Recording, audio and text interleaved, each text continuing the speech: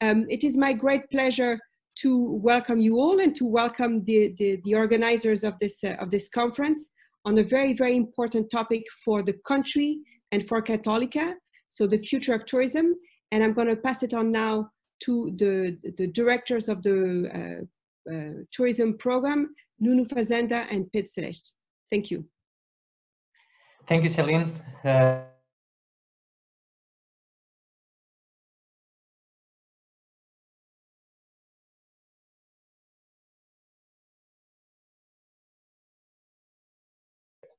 now I have sound again. Thank you, Celine. Hello, everyone, and welcome to today's webinar about the future of tourism promoted by Católica Lisbon. My name is Nuno Fazenda, and I'll be your co-moderator along with my colleague uh, Pedro Celeste. We are professors at Católica Lisbon and co-coordinators of PATCHTOUR, which is a program of tourism um, of tourism management for executives. Travel and tourism is one of the most important economic and social activities in the world. And tourism is one of the sectors most affected by, by the COVID-19 pandemic. Thus, tourism destinations and companies now face a great uncertainty regarding the new consumer mindsets and needs. To guide us with new perspectives about the future of tourism, we invited international and national experts we will talk about the future of tourism in different dimensions. So first of all, once again, many thanks to Sheree Mitchell, to Ligia Fonseca, to Chris Seek and Luis Araújo for accepting our invitations to participate in this webinar. And in fact, it's a great honor for us uh, to have your participation. We will also would like to thank to all the participants. We have around 500 registrations and I guess we have now around 220 uh, on board at this moment. I have a few housekeeping items to cover about this webinar. First, today's webinar will be recorded, recorded and will be shared on Católica Lisbon uh, website. Next, we would love to hear from you during today's presentation. If you have a question for one of our speakers, please feel free to send through the chat of the platform. And please identify also the speaker with the question. At the end of the session, we will try to answer to them. Before I hand the mic over to, to Chris Seek, which is going to be the first speaker of this um, webinar, to talk about the future of um, destinations, let me do a brief introduction about him. Chris Seek is a sustainable tourism specialist with over two decades of experience assisting tourism, conservation, and development organizations. Chris Seek is the CEO of Solimar International, one of the world's leading sustainable tourism development firms that has implemented over 200 projects to totaling for 40 million in grants and contracts. Chris is currently assisting national tourism authorities along with several UNESCO World Heritage sites, and United States DMOs develop COVID-19 response and recovery strategies. Chris is also uh, an executive in residence and assistant tourism professor at the George Washington University and owns the Inn and Tavern at Meander, a rural bed and breakfast in Virginia, that he has led the strategy to reopen using a context hospitality program. So from US, from Virginia, uh, many thanks, Chris. It's now your turn. Thank you. Thanks, Nuno. It's a pleasure to be here, and it's a pleasure to be taking part in this important conversation here today. Um, as Nuno mentioned, I have the pleasure of working around the world to use tourism as a tool for economic development. And as Nuno mentioned, our industry has been hit very hard because of this COVID response. But now more than ever, it's important for the industry to unite together and understand what needs to happen together in order to recover. So I'm going to take you through a couple slides here to share some advice we're giving to destinations in the industry about how to recover and what the future is going to look like. So first, the question that we hear from everyone is this question of when will the travel industry recover? And unfortunately, we don't have a crystal ball that will say exactly when and how it will recover. So we're recommending people to take a scenario approach. This is from McKinsey Company, who um, wrote a beautiful blog article about the different ways in which companies and destinations should be thinking about creating scenarios in order to help think and predict what the industry will look like. So on this side, you have the differences between what might happen with the spread of the virus between being very effective to not effective at all. And down here, you're looking at the economic implications of, the, of this and what that means as well. So based on this, you start to chart out different scenarios that will help you either as a company or a destination start thinking about what, what will tourism look like when and how it recovers. Now, the other thing that I follow a lot of is what UNWTO, they put out some wonderful information about COVID. So I encourage everyone to take a look at their website. Um, they're also doing a scenario planning and they're finding that based on when the easing of travel restrictions takes place, whether that's in July or September or December, we're looking at a dramatic drop in, in international arrivals and economic impact of tourism. So again, looking at this and, and based on that, you're looking at anywhere between 850 million to 1.1 billion international tourists, almost uh, over a billion to trillion, uh, almost a trillion dollars in exports, and then 100 million uh, jobs are at risk. So we all know the impact is, is pretty enormous. But one thing that's also important to remember is that tourism often rebounds pretty quickly. If we look at historicals from the SARS and our, our, our economic recession in 2008, the tourism industry tends to bounce back pretty quickly, but that's based on consumer confidence. And that's something we're going to talk a lot about here today. Um, so what will recover first? The experts are suggesting that first, just people leaving their house and going to restaurants and shops, that's going to be the first kind of recovery. And then people are going to get in the car and take a road trip um, uh, on their own. And even, you know, uh, public transportation might be limited in this, in this first phase. And then you're going to start seeing overnight destinations followed by week long drive vacations. Then we're going to start seeing people flying and then international flights and then finally meetings and conventions. So it's thinking about that in your destination and your business where you fit in that. Now, the good thing is we're seeing a lot of media articles that talking about travel. And I think the media looks at the opening of travel as kind of a, a sign that we're in the going in the right direction. So we're seeing a lot of articles about this, which I think is helping create this consumer demand. But when we travel again, it's going to look very differently. Um, from everything from temperature checks at the airport to some places where they're actually doing COVID testing, um, like here in Dubai, before you get on the plane. When you get on the plane, the flight crew might look very differently. This is a, a, a flight crew from Qatar Airways who are basically dressed in hazmat suits. Once you arrive in China, they actually have restaurants where they disinfect people before they enter the restaurant. And then when they sit down at the table, you might have a mask, uh, a bag to put your mask in while you're eating. Or in this case, the restaurant actually comes in and disinfects um, your utensils and plates right there in front of you so you know that uh, you can be safe. We're seeing a lot of people shift to contactless um, ordering, whether that's doing like this restaurant here on Instagram, or in my case, I was had to, at my bed and breakfast, we had to create a whole online ordering system to allow it easier for people to order from their rooms. And in China, they even have robots delivering um, food to customers as well. Um, Germany, you're seeing bars where they put up these different types of spit guards to protect the staff. You're seeing this in Japan, where in between uh, on the same table, people um, protecting themselves. And then this wonderful cafe in Germany who makes people wear these hats in order to encourage social distancing at the destination.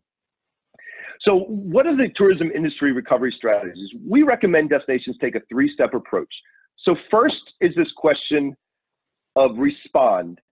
The second is restart, and the third is reimagine. So let me just take us through each one of these pretty quickly. First, respond. When this industry when this uh, crisis happens, it's important that the industry and destinations do their part to share national guidelines and health and safety guidelines to keep people safe. Next, there needs to be a national testing and tracing. We can't uh, stress this enough. We've got to be able to track this. We know COVID, while we may have done a good job of stopping the spread, it's going to come back. We have to have these plans in place. I'm working with the country of Georgia right now, and they're doing some amazing things. But they knew that unless they had a national testing and tracing program, there was nothing that their tourism industry marketing programs or, or cleaning can do unless they had this in place. And so they borrowed uh, a pretty substantial loan from the World Bank to do that. Also, it's important to help the industry with liquidity and making sure they have access to finance. My small bed and breakfast um, survived thanks to the relief packages from our US government when they passed these stimulus programs that allowed me to um, access funding to keep my staff on payroll. And then I actually just received a long-term 30, 30 year loan at a low interest rate that's going to help me through the next um, few months, which is going to be very difficult. Also, it's important to create a social safety net to support the unemployed workforce because we know a lot of people are left out. And so, how are we helping them? How are we making sure that they have access to income and food? And then also making sure we have a response plan for when it recovers, um, when re COVID returns. Um, this is the graph of the Spanish influenza in 1918. A lot of people are predicting that we're actually right here and we could see a spike here in the future. So what are we doing as a destination to learn from how we responded the first time around to make sure we're ready the next time it does come around? So now let's talk about something a little more positive is restarting. And I think this is what everyone wants is how do we restart the industry? And I think the most important thing is to provide clear, clean and safety industry guidelines, training, and even certification. Um, again, as a business owner, I need someone to help make sure I can tell the staff on my team what they need to do to keep them safe and to keep their guests safe. UNWTO has put out a great um, guidelines for this. I've also followed industry associations. This was here in the United States, the American Hotel Lodging Association has released a, a, a strong um, uh, uh, criteria as well. The World Travel and Tourism Council has put out its own guidelines, and they've even created a certification program that allows destinations and businesses to show that they're in fact following those guidelines.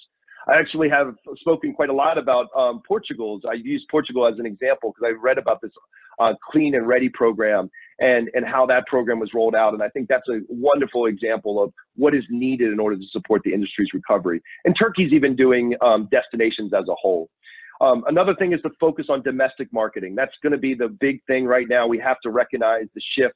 Ireland had a whole international marketing campaign ready to go. They shifted it to focus on the domestic market, encouraging them to visit um, and rediscover their destination. Um, the, also, the next one is these bilateral agreements for international travel bubbles. Um, we started seeing this with New Zealand and Australia. Uh, we're now seeing them um, structured between different countries around the world. Europe is, in fact, leading some of these.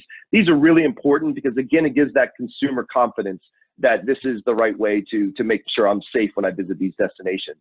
And it's also important to make sure you have protocols or how you're going to welcome international visitors. Bermuda had to sit down and really think about how they were going to do this, and they require people before they come to get a COVID test and show that they are they haven't tested positive make sure they have health insurance. And then when they arrive, they have to take another test in the airport and they have to quarantine for 24 hours in their hotel before they get the results, before they move on. These protocols are, again, important not only for the visitor to feel like they're safe, but it also is important for residents to feel that the visitors that are coming to your destination are not going to infect everyone. And then lastly, it's important to think about adapting your marketing messages. People now, the consumers change. We want safety, we want remoteness, um, so pictures of large events with large concerts is probably not the way to go. Showing nature, showing the opportunities. My bed and breakfast, we had to completely pivot to show all the uh, extra space you can sit outside and enjoy um, our little bed and breakfast. And then finally, the next stage is we talk about is reimagining. This really has given us a chance to rethink tourism. And I am encouraging destinations and businesses to not just rush to return to normal, but reimagine tourism and think about how you would like to see it change when it does return. And one of the things we're recommending is to strengthen tourism commitment to supporting conservation. We feel like that's very important. There are different ways the tourism industry can support conservation of natural and cultural resources. Um, here's a, uh, some of the models we use, but we think there's a great opportunity that as it comes back to really make that commitment strong. Second is we've got to avoid over tourism and we've got to improve visitor management. Before the whole COVID thing, this was the hot topic. Um, now we're rushing, we want the crowds back. But the reality is, the day after the travel restrictions in China were lifted, this is the national park. 20,000 people arrived. They had to close the park by lunchtime. We need to have strong visitor management um, guidelines and systems in place to avoid these types of overcrowding, not just because it's a bad visitor experience and it puts stress on our resources, but it also puts our people at risk. And then finally, we also have a chance to listen to residents. Let's listen to our residents. Let's make sure that we understand what was their concerns with tourism before and make sure that we're bringing tourism back in terms that addresses their complaints with the industry. We all have seen these pictures and we know of destinations who've gotten frustrated with tourists let's make sure that when we do welcome it back, we do so uh, making sure that we keep the residents' um, concerns in, in mind.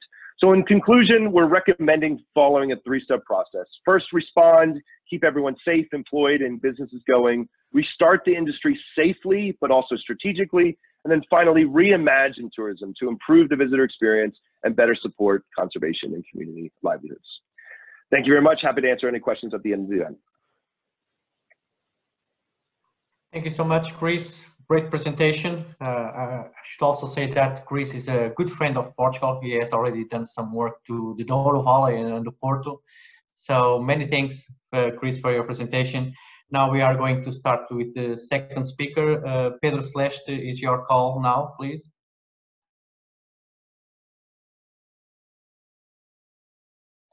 Uh, Pedro, we, I, we can okay. hear you. Okay, I'm done. So good afternoon. My name is Peter Celeste, and uh, as a coordinator of PASTUR, uh, advanced program in tourism management, I'd like to thank our guests their availability to participate in this webinar. I also like to thank all the participants that joined us on this event. Well, uh, I'm very pleased to announce the next speaker, Ligia de Fonseca from IATA, the International Air Transport Association. Ligia joined IATA in 2017 and she's actually manager in the member and external relations uh, department.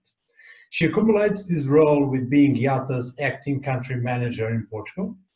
On one hand, Ligia covers external relations subjects such as aviation environment, taxation, accessibility and policy making in the various aviation areas representing IATA in working groups in the United Nations World Tourism Organization and in the European Civil Aviation Conference. On the other hand, she serves as country manager for the seven Portuguese IATA member airlines, being IATA's institutional point of contact with the Portuguese government, the Civil Aviation Authority, and all the other aviation and non-aviation stakeholders in Portugal. Ligia as well as 13 years of experience in the airport transport sector and nine years ago worked with the Portuguese Ministry for Economy as an aviation advisor and later on the Portuguese Civil Aviation Authority where she was member of the administration board. You are very welcome, Ligia, and the floor is yours. Thank you so much, Pedro. Let me try to share my screen first.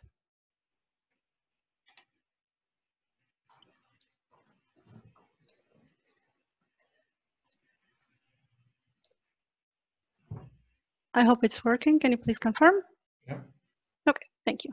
So thank you all first for, for inviting me for, for this webinar. Uh, there is a series of, of webinars that Católica is organizing and they're very interesting, so I advise you all to, to follow.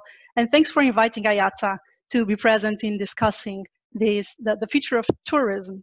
In my case, I will take you on a journey into the future of air, air transport and what it's being called now the new normal. All of you have heard this before, the new normality. The first thing I want to, to show you is what we had in the past and how are things right now. So I chose this slide because I wanted you to retain a mental picture of what changed in terms of air transport. I wanted you to see here on the left-hand side the, the number of flights we had in 2019 in, in May and then to compare it with the 1st of May in 2020. So you can see that although we have some, some dense areas uh, in red, it, these are domestic flights. So it shows that in terms of international flights, the, the difference is massive between the two reality, realities. We have a whole new reality. In fact, um, worldwide flights are down by 70% when compared to the 1st of January this year. But we see the curve slightly taking off as from uh, the end of April, which is a good sign. We can see here the, the, the comparison, the breakdown in terms of the, the behaviors in the different regions. You can see uh, Europe in yellow. So this drop in traffic, of course, coincided with the border closure in many countries, with lockdowns imposed, and of course, with passengers' fear of traveling. This is another um, graph that shows that uh, air travel is expected to rise in 2021, but uh, it will be much lower than the levels we had in 2019. in terms of revenue for the airlines, for the airline industry, only by 2023, around 2022, 2023, we will have the same levels of revenue experienced in 2019. If, it, if we compare global GDP and the, the revenue the, that the airlines had in the past, they were proportionally increasing and even converging in 2019 but then we saw a huge drop in, in aviation that is now slowly taking off and expected only to be back to those levels in 2023. This all is based, like Chris well said, in passenger trust. Consumer confidence is critical now to achieve these numbers again. Uh, given this scenario, so IATA ran a survey and asked passengers, once the, the pandemic has subsided, how long will they probably take before resuming their usual travel plans, be it for leisure or business? And the answer is that 70% uh, of the respondents said they would wait between one and six months, which is massive, before going back on an airplane. On an airplane. And as you can all understand, air transport and all the activities that air transport supports, like tourism, cannot wait six months. So this compared with the previous survey that IATA, IATA conducted in the beginning of the pandemic, where passengers said that almost 60% of passengers said that they would be willing to travel immediately or in the next one to two months. So 60% in the past were willing to travel almost immediately, and now we have plenty of passengers waiting a bit longer before going back to an, air, an airplane. That's why we need to regain passenger trust. As Chris also said, so I'm not spending a lot of time on this, uh, domestic flights will take off um, first, and then the international flights. And what we will see is that the domestic fares will go down, and the international flights will uh, fares, I'm sorry, will be more or less the same. Something also very interesting is that if before almost half of the passengers would book with 20 or more days in advance their flights. Nowadays, the purchase of the few flights that are uh, being uh, flown are purchased, you can see in the graph, um, almost 40% of, of those flights are being purchased with zero to three days in advance, which is contributing to, to the airlines having less visibility and it absolutely, absolutely distorts uh, any capacity or capability of the airlines to foresee and adapting to the consumers' profiles and demands. So this is a matter of urgency because aviation drives economies, as you know, creates employment, enables trade, facilitates health healthcare and emergency aid, as we have uh, um, all, all witnessed in the past few months, and of course, it connects people, business, and economies. And this, this is what brings us here. So how will the new normal look like for air travel and for tourism? There are a lot of dimensions uh, from governmental and health organization policies. Uh, cargo is taking off. We have new operations uh, in place for airlines itself.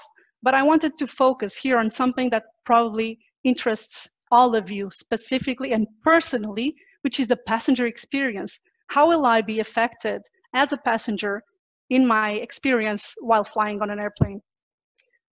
For, so, so to start with, you will be uh, facing a temporary biosafety measures in place, let's say in layers, to create uh, a safety net um, that is dense. So you'll have all the layers that you see on your screen from pre-flight to a border and customs and transit. And because there is no, let's say, silver bullet solution, IATA recommends this temporary multi-layered approach during this restart phase, not only for passengers, but also for crew.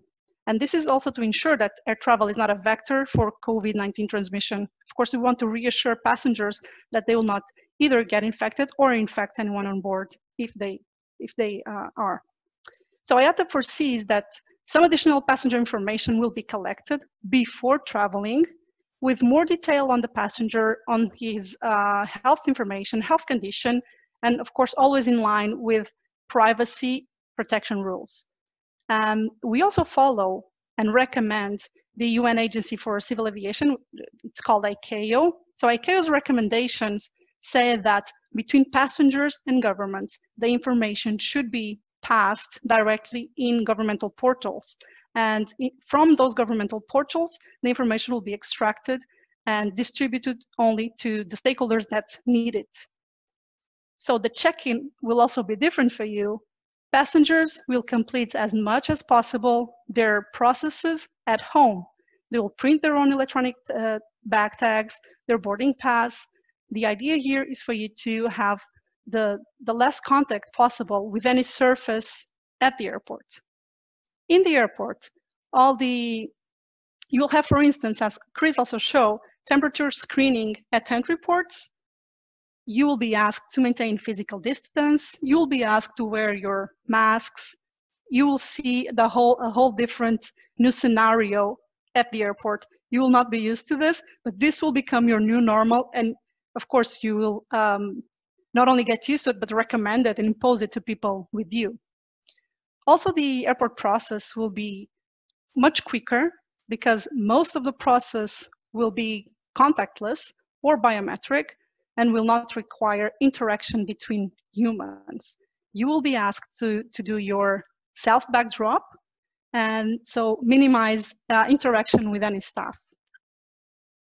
When boarding, also you will have a more orderly um, boarding and the, the, the areas, the boarding areas will also be very different from what we what you have in mind right now. You need to, to, to try it and to, to start to be used to this because it will be a very new experience to you. And you will use self-scanning, once again, biometrics in many airports, which will allow you, allow you to, to feel more safe and comfortable. In flight, you will have, you, you, you know that uh, evidence, uh, health evidence has shown us that transmission on board is really, really, really low. And this can, can be, um, this can, can be due to seat orientation, now to wearing masks, or the vertical cabin airflow, the, those filters that everyone talks about, the HEPA filters, and the airflow that is vertical in the airplane promote the air circulation to be um, up and down and not in the direction of other passengers around you. At the arrival airport, the, you will have temperature screening in many of them, and you'll have trained staff to assist you if needed. In boarding costumes, you will, also, you will also have electronic declarations. All, everything will be on your phone as much as possible to to optimize your travel experience and also to minimize the contact with other people.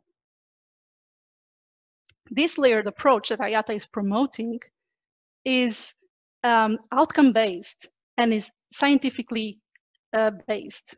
So for all the risks that were assessed, we came with the best solution to do this in an agreement with the airline industry. So this is an industry proposal that is being made and this is the best solution, not only for the industry to, to take off, to restart, but also for passengers to feel comfortable and safe during their journey.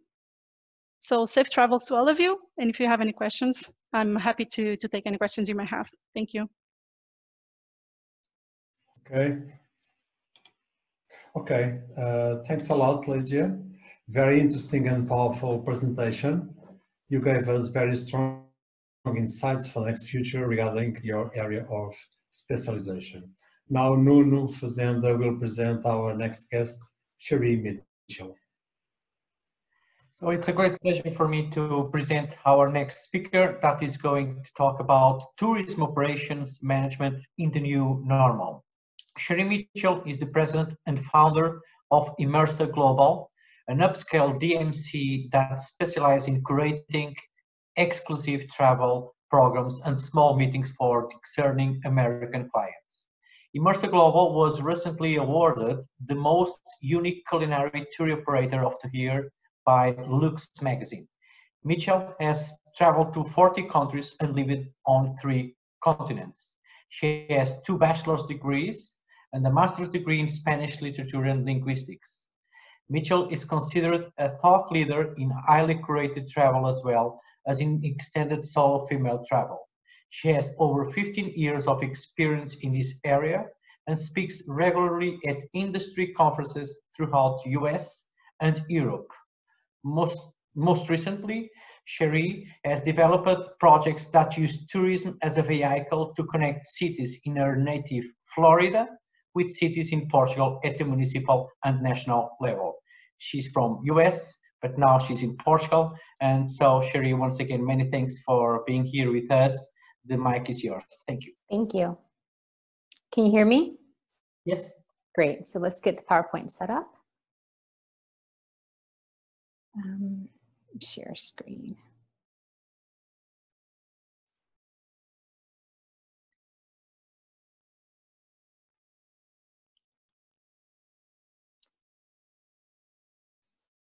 Okay, great.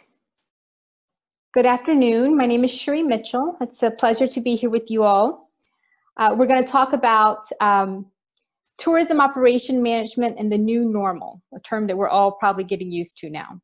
So I just want to have a little guide for the presentation today. We're going to touch on four different elements. A brief overview of Immersa Global to give you context of what we're going to talk about when we get to the considerations for return to travel and specific changes that we would make today if we were running programs with our clients, and then final observations. So Immersa Global, as mentioned uh, in the introduction, is an upscale DMC, and we offer different types of products that we curate and also execute ourselves. We are B2B and B2C. If you were to look at our client profile, you'll see that all of our clients are exclusively from the US. Average salary uh, is about $95,000 a year. In many cases, we have um, two salary earners in, in the homes. The age range is between 35 to 70. They take about two trips a year. Each trip, long haul trip, is about eight days long. Uh, the price point for the majority of our eight day programs without air is $4,000 per person double occupancy. Uh, our clients have about two to three weeks per year of vacation time. Remember, we're talking about the US and not Europe. There's a big cultural difference there. And the majority of them tell us that they have no time whatsoever to plan travel nor desire, so they're happy to delegate that to someone else. And they are always looking for authentic, fun, exciting, and new adventures. And luckily, Portugal is a destination that can offer all of that and more. So we don't consider ourselves a luxury um, DMC or luxury travel company in the US because luxury is defined differently in different markets around the world. So in the US, we just be considered high-end or upscale. However, we do define the new luxury as the ability to enjoy a curated experience without ever thinking about the logistics, which speaks to our clients as they love to be taken care of uh, and not necessarily have to think about any of the logistics of their trips. So return to travel considerations. And of course, we're in a very dynamic moment right now. So everything is constantly changing as uh, the other panelists have mentioned already. Uh, I like to refer to the return to travel flow chart where we have uh, four or five different elements to consider to remind us where we were, where we currently are, where we're going, and hopefully where we'll end up in the next two to three years. So we had our pre-pandemic phase, which was where we're able to just perpetuate or continue our strategies that we had before because we had unprecedented growth and we were looking forward to having that growth in 2020 as well. And then the pandemic hit and we went into hibernate phase. Uh, the next phase, which uh, is where many of us are now, is in recalibrate. We're looking around to make sure that uh, we're still in place and that our suppliers are also still in place. We know uh, just by the nature of this situation that there will be some attrition in the market. Then we move on to post-pandemic phase two, which is stimulate. That's what we're all really wanting to get to as soon as possible. And then um, a couple of years out, hopefully we'll get back to accelerate in the post-post-pandemic phase. So with that, I believe that we're in uh, this area here, and hibernate, recalibrate, and stimulate, somewhere between the three. So the three considerations, main considerations that I have for return to travel. Travel confidence, as the other panelists have mentioned already, which is really important. Traveler safety, safety is equally important. And then changes to policies and contracts that will help to support the first two. Traveler confidence. Uh, we need to identify key points of concern. This would be our, our pain points for our clients.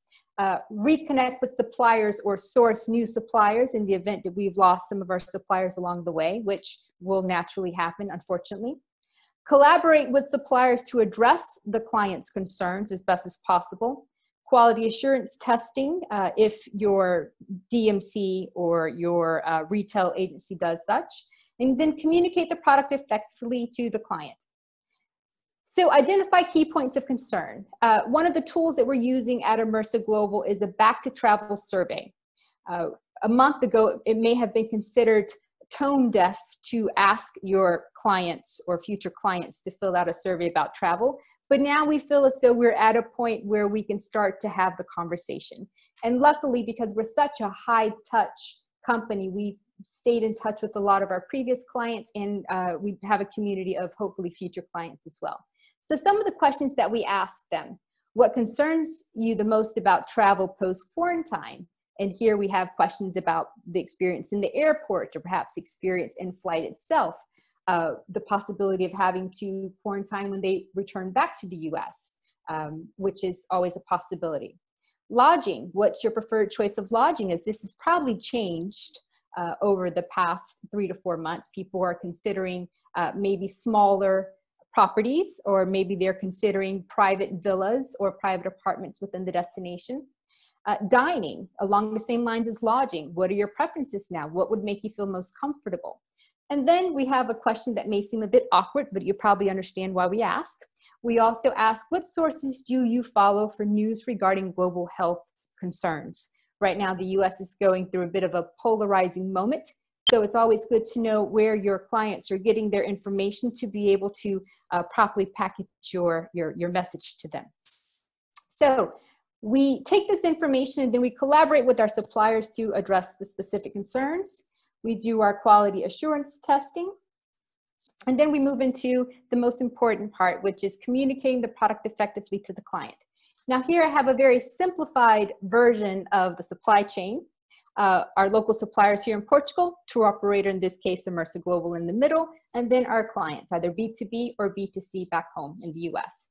Uh, one of the things that I've noticed is that with all, all, these wonderful programs that are coming out, clean and safe, specifically here in Portugal, and then I believe there are other countries that are, are, are considering doing similar, having similar programs. Safe Travels, which is you know a regional program, our clients back in the US, they do not know what these programs are unless they're in trade, the trade, to, uh, travel and tourism. And the majority of them are not. So we are looking for creative ways to connect the information provided from Safe Travels and Clean and Safe to what our clients do know. The CDC, the Center for Disease Control. So they're very familiar with the standards and protocols that they're rolling out. The FDA, Food and Drug um, Administration, OSHA, and of course the US Embassy here in Portugal, which luckily, luckily, I just checked today. If you dig a little, you can uh, find a page that links back to Clean and Safe on Tourism of Portugal's website. So that's always a really good sign for us to see that connection being um, um, supported by the US Embassy here in Portugal. So we serve as obviously a communication bridge between the two countries, the two cultures, and we're looking for ways to make sure that our clients are getting the update information about what's happening here in this destination. So when it is time for them to travel again, Portugal will be top of mind. So traveler safety. Uh, one of the things that we're working on is creating ways to get the clients, the travelers to buy in on what their responsibility is supposed to be and how they're supposed to manage that. So in the case of Portugal, the hypothetical, if we had a group of clients come over today, we know that in Portugal, we're still using masks in closed, in, in closed places, correct? And this probably will continue for quite some time. Well, there's a different um, procedure taking place in certain markets in the United States. And so we want to make sure that our clients understand what will be required of them here and that they will be on board with that so that we could prevent situations of having uh, anti-maskers travel to Portugal and not have a pleasant experience because things are a little different, done differently here than they are back in their home states. And if that were the case, then we would just simply suggest to them, maybe this is, isn't the time to, to visit this destination. We also uh, communicate all of the measures and protocols that are taking place at the hotels, restaurants, and with our ground transportation partners. This way we are able to um, help them understand what the expectations are as well as make sure there are no surprises whatsoever. That always helps in building, obviously, um, consumer confidence. And then on a back office thing, we have contingency plans in the destination. So this is the first time we've ever considered having to reach out to medical facilities here in Portugal and just establish contacts in the unlikely event, hopefully unlikely event, that we would ever have to refer clients to um, hospitals here. Changes to policies and contracts. So we're going to see two slides where we're talking about changes to policies and contracts for two different groups of people. This is strictly DMC to local suppliers. So this is all in Portugal. We need to revisit the flexible cancellations, uh, refunds, and we need to revisit rates and deposits. All of these things have changed. The way that these things are managed have changed in the past three to four months. Uh, we still have some suppliers who are wanting to use their 2019 2018 contracts and we are uh, as diplomatically as possibly trying to tell them that we think that we need to renegotiate this because this isn't going to work in the new normal. Relevant services and amenities. So the, a very quick example of this could be if breakfast is automatically included in the contracted rate which it is in most european hotels uh, if our clients are no longer wanting to take their breakfast at the hotels for whatever reason then maybe that's an element that we need to go back and renegotiate and ask uh, if we can uh, revisit a different scheme Liability for negligence eh, of health and sanitation protocols by suppliers. This is very important because obviously we want to make sure we maintain a very safe environment for everyone involved. But this is extremely important for us because our clients are all from the US and the US is a very litigious country. So we want to make sure that our suppliers here are doing exactly what they're promising that they're going to do because those same protocols and procedures that they're telling us that they're going to abide by are what we're going to put in our contracts with our direct clients back in the US. So speaking of that, changes to policies and contracts, this would be DMC to um, our business partners, uh, either the retail travel agencies that are sending us clients or the direct groups that we're booking with. Once again, going over flexible cancellations and refunds, rates and deposits, because before our contracts with them mirrored our contracts with our providers here. So all of that has to be revisited mandating proof of traveler's insurance with specific coverage. Now, this is a new item that I think is going to be a hot topic in our industry. Uh, before, we did not require that our clients had um, health insurance, traveler's insurance when they when they traveled with us. And so we are in conversations with our attorneys back in the U.S. and how do we write this in? Is this something that we can make uh, obligatory for our, our clients to travel with us? testing group members prior to travel, which is also another hot topic that we're, we're mentioning in the US. If you have a group of clients who are coming from different markets, New York, Florida, uh, San Francisco, all around, when they arrive to the destination, if they're not testing in Portugal, and, currently they're not, uh, do we need to have them tested prior to arrival? Whose, responsi- whose responsibility is that going to be? Will we, as the incoming um, uh, tour operator be held liable if someone shows up that is infected and infects other people. Also, liability for clients who become ill during the trip. So these are also conversations we're having with our attorneys. And at this current moment, it's inconclusive. We don't have a definite answer uh, as to who will be held responsible. And liability for negligence of health and sanitation protocols by suppliers, as I've gone over uh, in the previous slide. So with all of that said, uh, if we were to have a group come in uh, today, a hypothetical group, these are some of the changes that we would have. Uh, our general changes is that we would not contract spa services at all. Uh, the winery visits, we would work with our winery suppliers, and when we have groups, and our groups are usually about uh, 12 to 18 people, we buy out the wineries. And so we are the only groups, the only clients who are at the wineries at that time. We will see if it's possible to work with the wineries using the Wine Institute of California's protocols, their procedures and protocols uh, for safety measures during COVID. And a lot of them um, align with what um, the Center for Disease Control is saying. And to be honest with you, a lot of them are also in line already with what um, clean and safe and safe travels is, is, is, is uh, requiring or suggesting. But one of the activities that we would completely eliminate for now would be the grape stomping activity, which is one of my favorite, unfortunately. We would also have to take out the farmers markets visits for obvious reasons. Uh, the private cooking classes would be out. The chef's table experiences, which is one of our clients' favorites when they get this one-on-one time with um, either a Michelin-starred chef or a rising Michelin-starred chef, those would be out. And the local VIP appearances where we connect our clients with um, well-known members of the Portuguese Society would also be out. So, final observations. Um, I think I'm running out of time, so I'll just show you these really quickly. These are different sources that I'm consulting either on a daily basis or on a weekly basis just to see what's going on. As we've mentioned before, this is such a dynamic moment. Things are constantly changing. We want to stay in touch with the clients. We want to stay in touch with trade. We want to stay in touch with our suppliers as much as possible. Um, luckily, the New York Times, uh, for about two months into COVID, they were positively highlighting Portugal and all of the great work that, that we were doing here in Portugal. I can say we because I live here now. All the great work that we were doing here in Portugal uh, got a lot of coverage by the New York Times, and we saw that reflected in our clients' comments to us, either via social media or emails to us, like, wow, you guys are having a really good run with COVID in, in, in, in Portugal that's going to be one of my first destinations to visit when we when it's safe to travel so um, staying in touch with all these different outlets and just keeping a pulse on what's going on i'm at the 15 minute mark so if you have chance uh, please do visit the welcome home to portugal video on youtube so you can get a, a taste of what Immersa Global does here in portugal this is obviously a pre-COVID video that we, we made. And if you ever like to reach out to me, you can find me on LinkedIn and everywhere else on social media, or send me an email at sheree at immersaglobal.com. So I'm going to turn the floor back over to the moderators and I'll see you guys during the Q&A. Thank you. Many thanks, Sheree, for your uh, presentation. Great uh, insights that you gave us, uh, not only about uh, tourism operations, but also for the companies, for destinations, for authorities. So great presentation. Many thanks for your contributions and great uh, insights.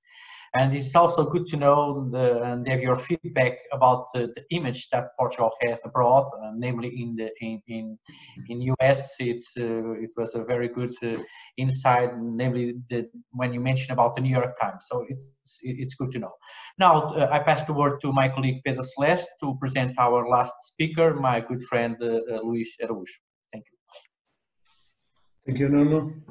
Great presentation, Sheree. Many thanks. Uh, it's my great honor to present the next and last speaker, Luis Araújo, with whom I had a great pleasure to work with in different contexts and moments.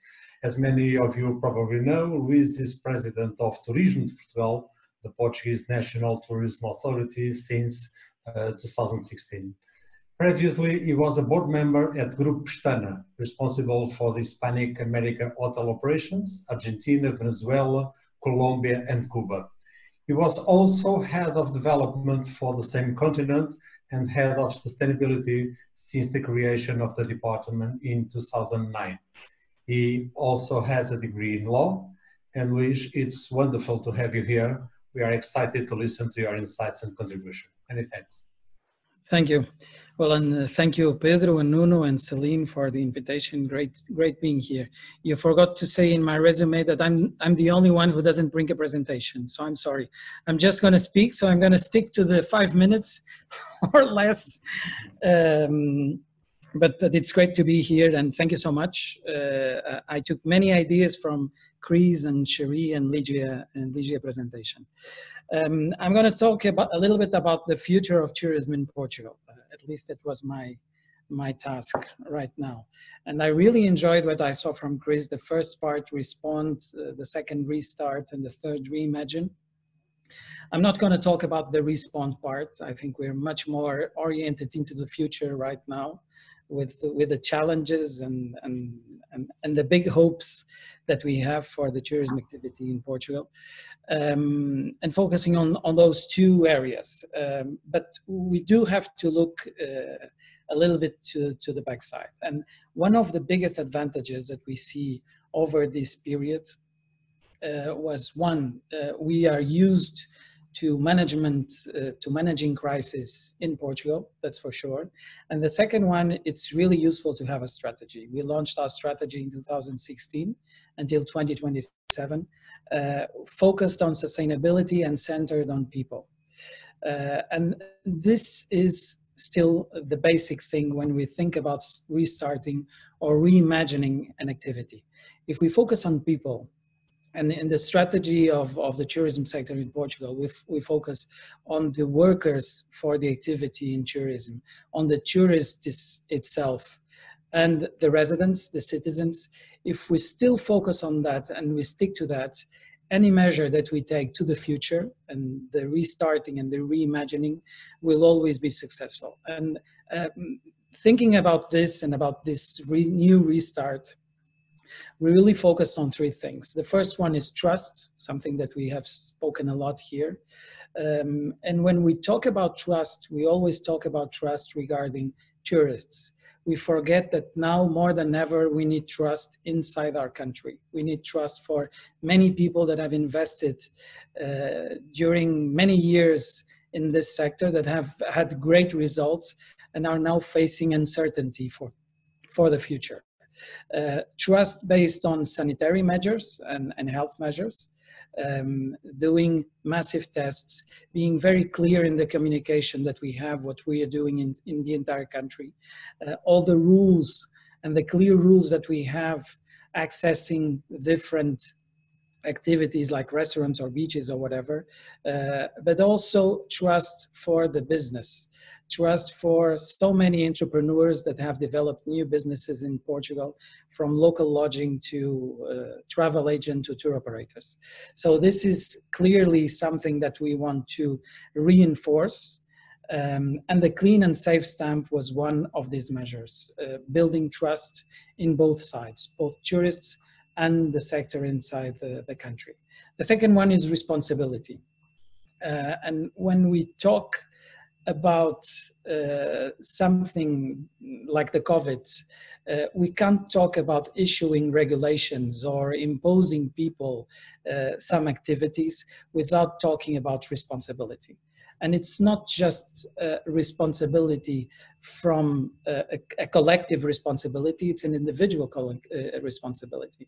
It touches all countries, all, all citizenships, all nationalities. It doesn't discriminate any country or any person. And uh, um, we've been focusing uh, and we had a purpose, we have a purpose as Tourism of Portugal, uh, as well as the tourism activity in Portugal, which is welcoming everyone and respecting the differences. And now more than ever, we have to stick to that purpose and show the world that this is the right way to work or to restart our activity. Um, going back to the clean and safe, and when we, we talk about responsibility, uh, we thought that this was the best argument to convince uh, not only the companies, telling them what they needed to do in order to be prepared for the future and for the new clients, because we do have new clients with new demands and new worries. Um, but it was also uh, a clear message to the sector, to the tourism, to the tourists, national and international, that they needed to have a responsible uh, activity or responsible um, visit to our country. Uh, that's why we launched two weeks ago a digital platform, um, a platform called portugalcleanandsafe.com, where any tourist can evaluate if a, a certain restaurant or hotel is complying or not complying with what they say they would comply in order to prevent the spreading of the virus. So we have a green, a yellow, and a red dot. And if they, uh, or if any of us goes to a restaurant and we think that we're not complying and the restaurant is not complying, then we just have to press the red button and we do an audit immediately. So uh, this is uh, a second uh, area that we're really focused on in building responsibility and giving clear communication on what Portugal is doing to the entire world. The third one has to do with experience. Um, and, and, and clearly, uh, I think Ligia and Sheree have spoken about that. Uh, tourists now, uh, we're very much focused on a seamless experience. Uh, the area of not touching things. That's something completely different.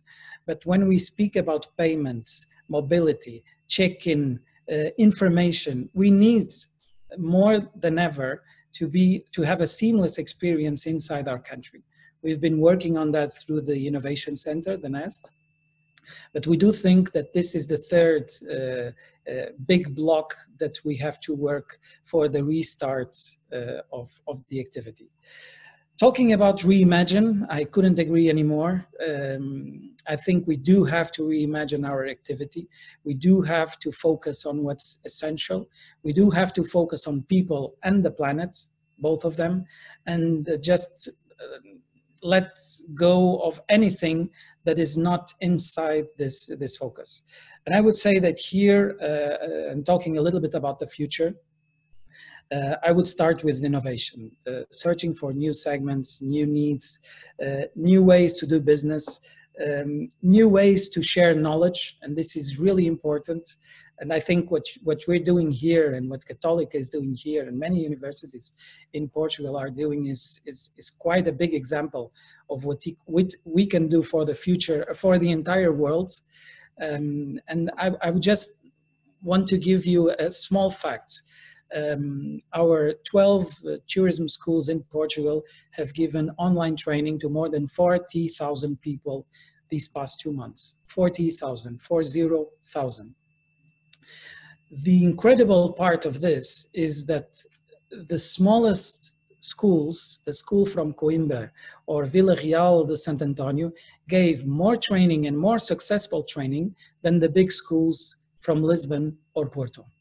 This is the real uh, innovation and this is how big portugal can be and i think this is something that we should stick on and, and, and try to promote this to the entire world uh, and talking about innovation we also had a very good news today portugal has been considered today from the commission from the european commission uh, inside the group of strong innovators inside the european union we came from moderate innovators to strong innovators.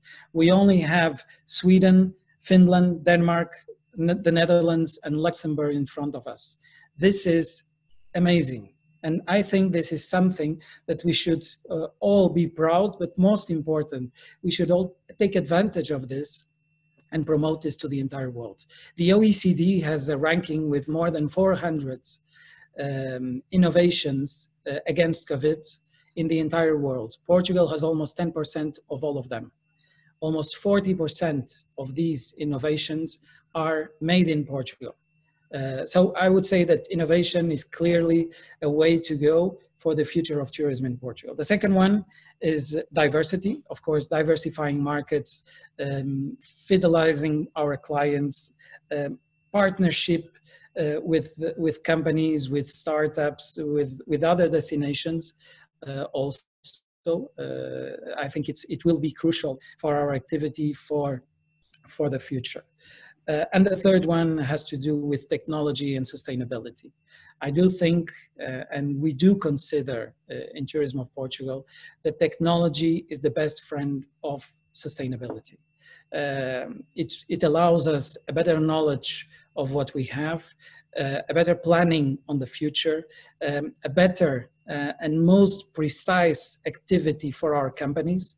Uh, we need to reinvent the way we do business, the way we communicate, the way um, we understand and make our companies more efficient. And I do think uh, uh, that technology and digital will be crucial to this activity. And I believe very strongly that Portugal has a role here, not only in terms of tourism, but very much focused in terms, in terms of tourism.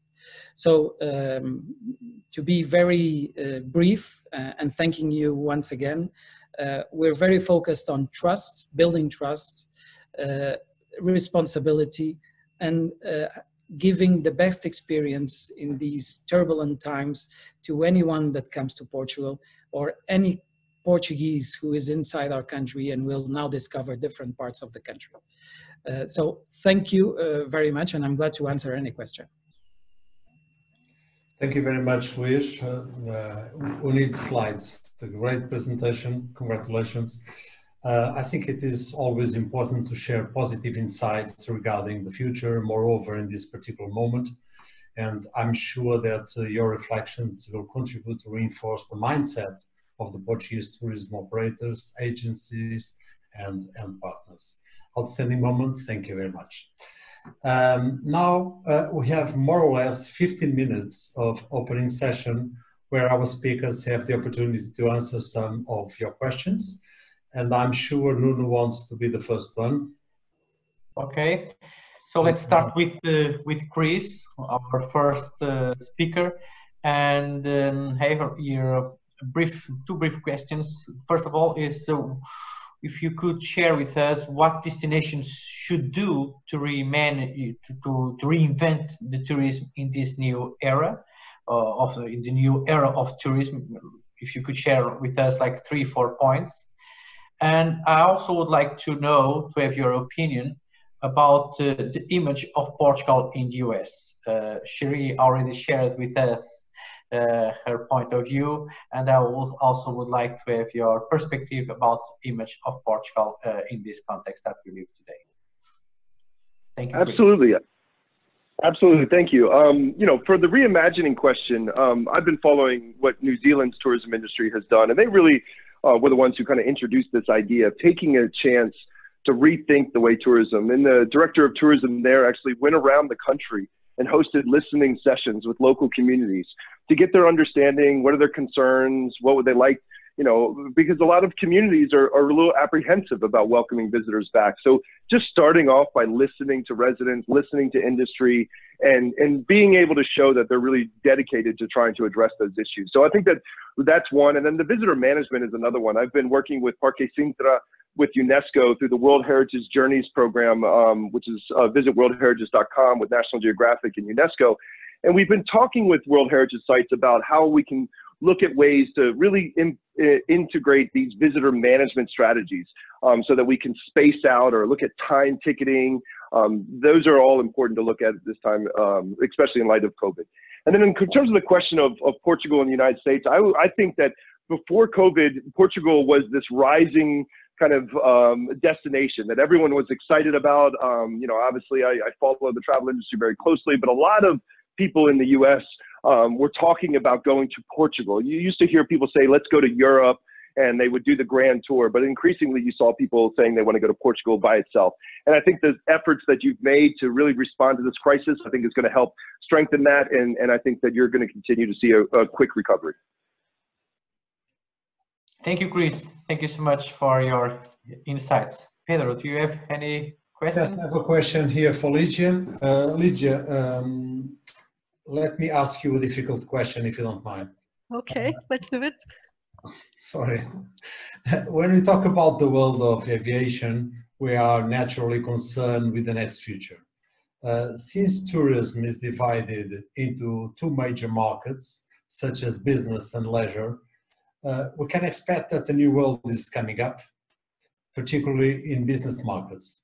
So in this case, we are expecting many changes in the way meetings, conferences, and events will take place in the mm-hmm. future. So how do you think the authorities, airlines, and travel agencies could work together to create value in this area? Sorry. Well, very tough question indeed, Pedro.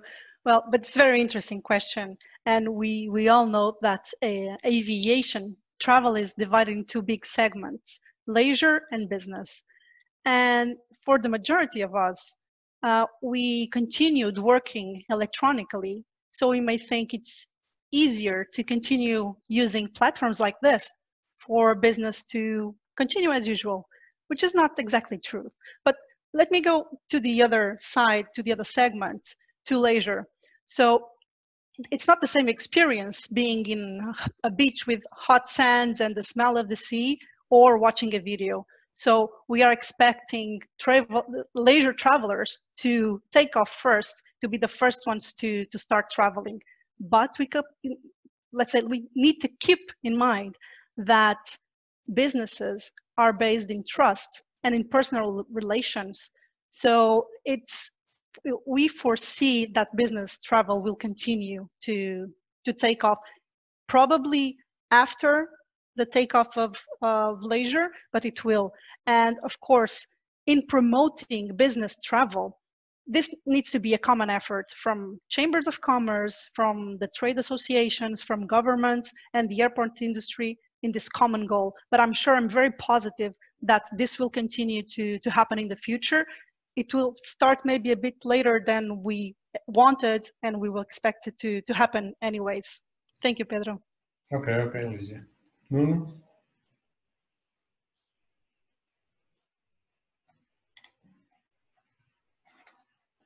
Sorry, I have here one more question now to Sheree.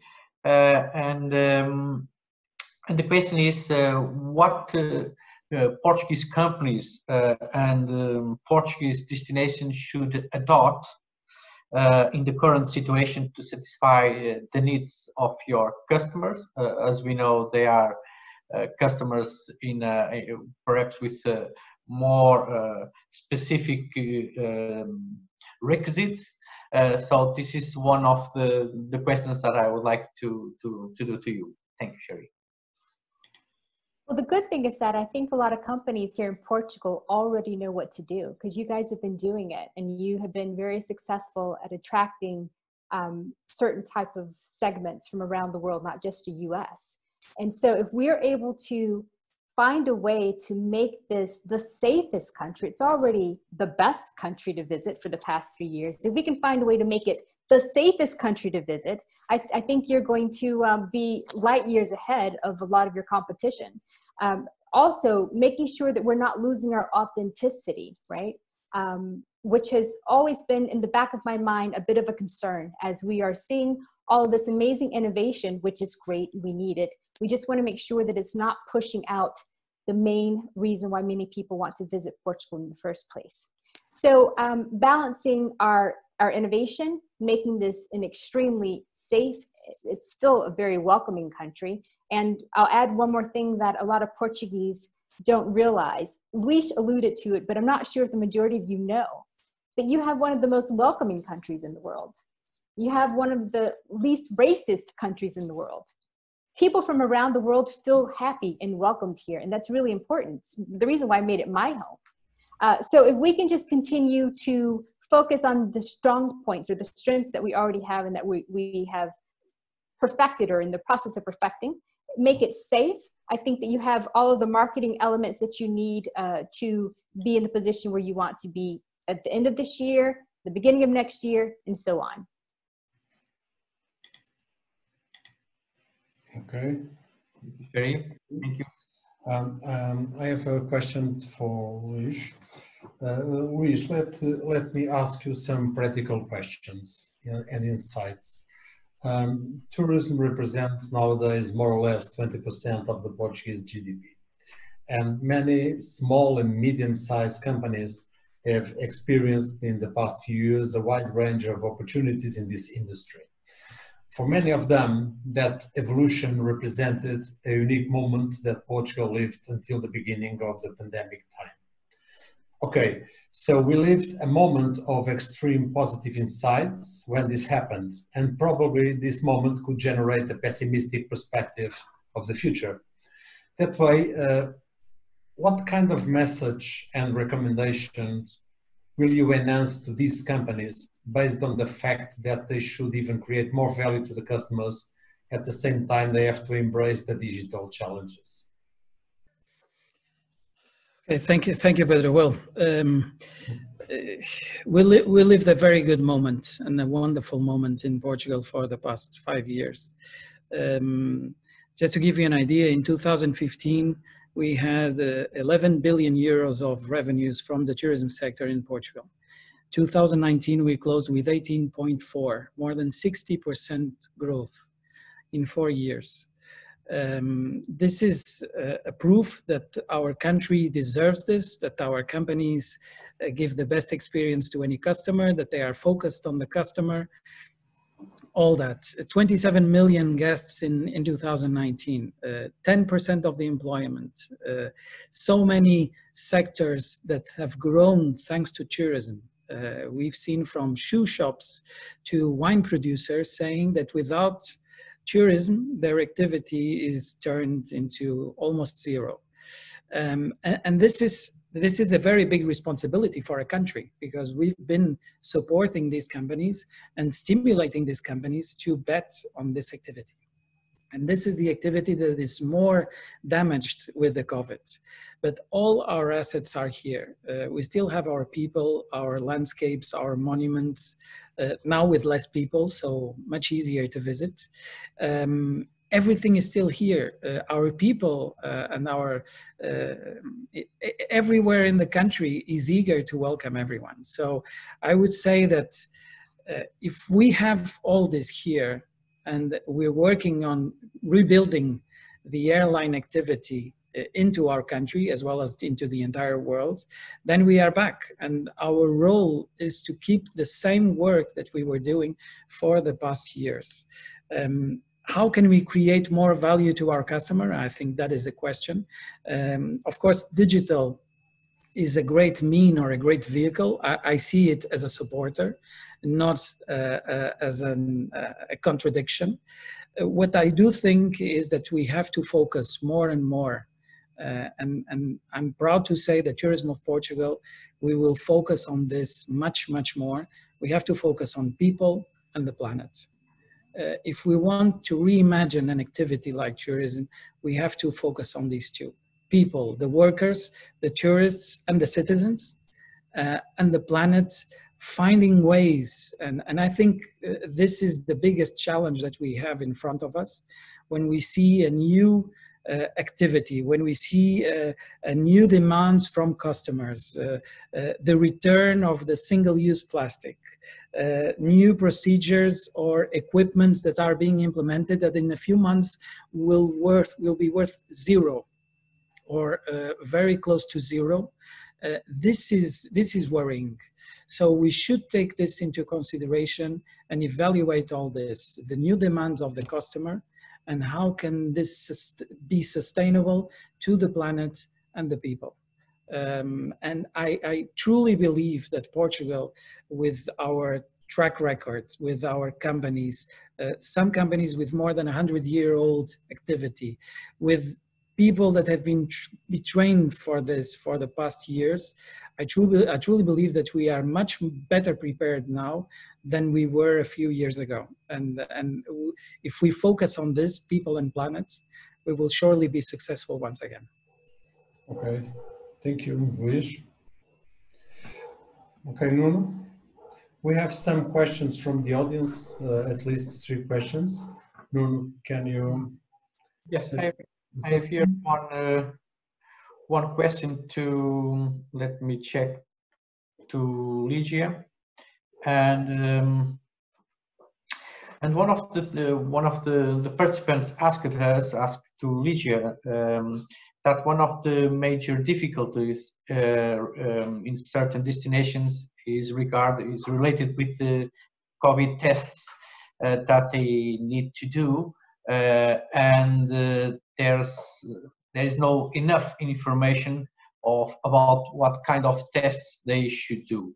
Uh, do you have any information regarding this? What kind of tests uh, the passengers need to do in some destinations? Yes, and thank you, Nuno, and thank you for, for the audience for, for making this question. Very good question.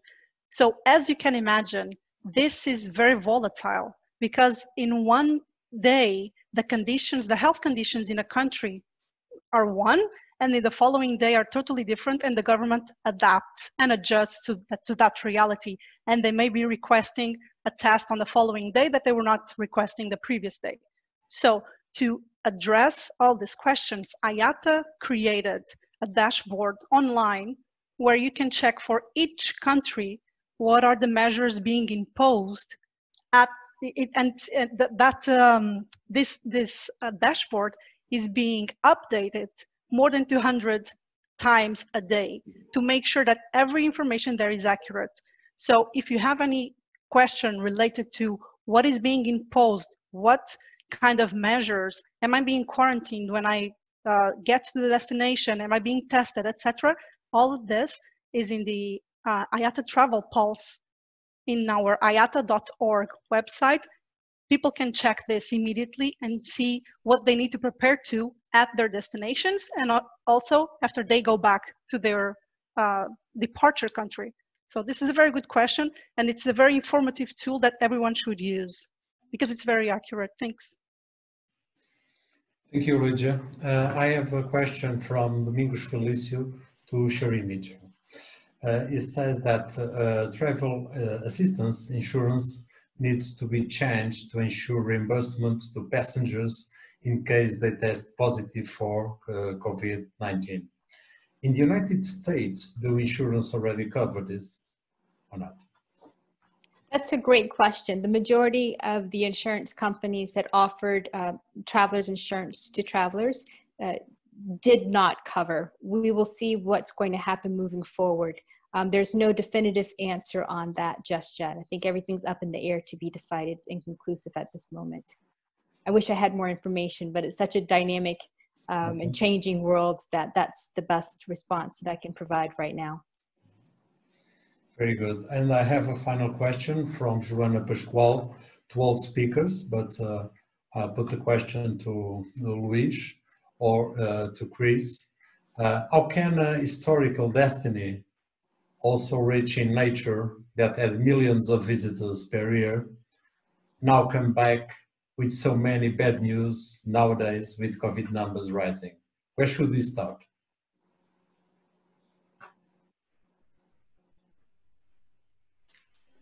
Luis?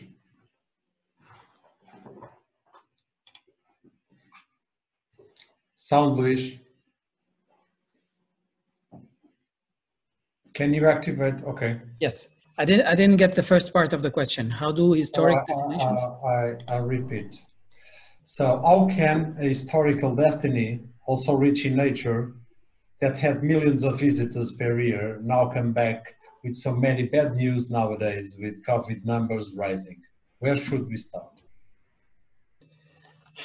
Well, that's a very good question. Uh, we should start with facts. Uh, and I think that's a very good starting point. We have more cases because we are testing more. We have more cases because we are testing more because we want to know where people are who are infected and we can uh, ignore that and just say that everything is perfect uh, and not take care of our health and our economy. But we've decided that that's not the way to do it. Uh, and uh, the way to do it is, once again, building trust, uh, sharing the information that we have, telling the world that not a single of our hospital is, is crowded. We have less than 60% occupancy in our intensive care units. Uh, we're testing more, yes, we're finding more, uh, but that's the way we want to do it because we find that that is the only way to do it uh, in a positive way for our locals because we're worried with their health, but we're also worried with the, with the health of anyone that comes to our country. So I would say that it's a matter of communication and it's just a matter of, of, of uh, building uh, a strategy on top of facts. Very good. So Nuno, I think uh, we have all the questions the, the audience wants yeah. to, to share with us. So uh, I think is it's time to, to end this. Okay. So before Pedro, you finish, just to once okay. again. I'll say a few words uh, before uh, our dean. And I say that uh, in the name of Católica Lisbon School of Business and Economics, I'd like to thank you all for this amazing moment of sharing and discussion with the contribution of very competent and great professionals. Thank you for your enthusiasm and thank you, Nuno Fazenda, for being my colleague in, in Católica and a friend as well. Many thanks to the audience uh, and to their relevant questions, and I'm sure you all enjoyed it. Finally, I hope this webinar will represent the starting point to create even more value on the tourism challenges. It was a pleasure being here with you. Thank you very much and all the best. I'm sure our dean wants to close this webinar and share some final words with you. Flip, please go ahead. Thank you very much. Thank you, Pedro. Thank you, Pedro. Um, I, uh, I think this was a wonderful conference. Um, uh, the digital conferences of Católica uh, are meant to provide knowledge of the situation, learning among each other, um, and to achieve uh, collective impact. And I was listening attentively to all of your uh, insights and presentations, and I and I learned a lot. And I maybe I would like just to share a couple of minutes of some of the things that I took away from from the seminar. Um, one is that it's clearly uh, we need uh, a different approach to management in times of COVID. And we need to go back and we are going back to something that was in vogue in the 70s, which is managing in times of uncertainty, scenario planning. And the uncertainty can be so high, the volatility is so high that we need to have a strategy, but one that, that is robust to quick changes in our uh, in the situation. Um, and the scenario planning approach was developed in the 70s to lead to help people lead with the oil crisis. And it was forgotten as a, a management approach for almost 20 years. Uh, it was all about disruption and, and growth and innovation. And now I think it's back in, in vogue and, and, uh, and we saw some interesting scenarios about what the future may bring. Um, also, uh, I, I, it was interesting from Chris' presentation, his statement about we need to be ready when COVID comes back. So it's not a question, will we have a second wave, is how strong it will be, when it will arrive, and how we can have a robust strategy to be prepared. Um, it was also interesting, clearly in the first stage of the confinement, we had a very blunt approach, which was let's all go home, lock ourselves up, lock the economy to stop contagion. And that worked, but at a huge cost. Now the approach is much more nuanced and it's the, the layered approach, I think that Ligia mentioned, which is we cannot have one measure that works, but that kills the economy. We need a series of measures, all of them may be small in the way that they reduce the impact of COVID, but they have a small cost and they change behaviors and the accumulation of all those small measures, all of those certifications, all of those practices will actually give us an effect that's similar to a confinement, but with much less economic uh, and, uh, and societal costs. So that's the approach. That's the approach that has been, been developing in tourism, in other sectors, and that's what we all need to do. That involves responsibility, individual responsibility to start with, also collective responsibility. And the key issue is, is returning the trust. I think trust was the thing that everyone mentioned. We need to return trust associated with individual responsibility so that each one does the measures, the safety measures that are necessary. Um, I think we also spoke, uh, and Luis made a powerful call for sustainability and for the fact that as we reimagine our worlds, we cannot go back to the world before. We need to to reimagine, reimagine a different world uh, that's more maybe customer oriented even, uh, that speaks more to the needs of, of the customers and the clients and to the sustainability for the planet. Um, so overall, it was a great set of insights.